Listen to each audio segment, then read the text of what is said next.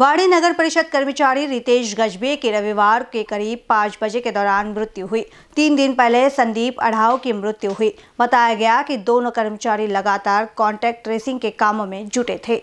Ritesh Covid 19 के contract tracing में जुटा था। सप्ताह भर से तबियत खराब होने के बाद भी ड्यूटी पर तैनात था। रविवार को अचानक तबियत खराब हुई। ऑक्सीजन लेवल कम हुआ। समय पर अस्पताल में बेड नहीं मिलने से रितेश ने दम तोड़ा। नगर परिषद कर्मचारियों में यह दूसरी मृत्यु है। इसके तीन दिन पहले संदीप पढ़ाओ की मृत्यु हुई। नगर परिषद कर्मचारी लगातार कोरोना से लड़ रहे हैं, लेकिन उनकी सुरक्षा के लिए कोई सुविधा नहीं है।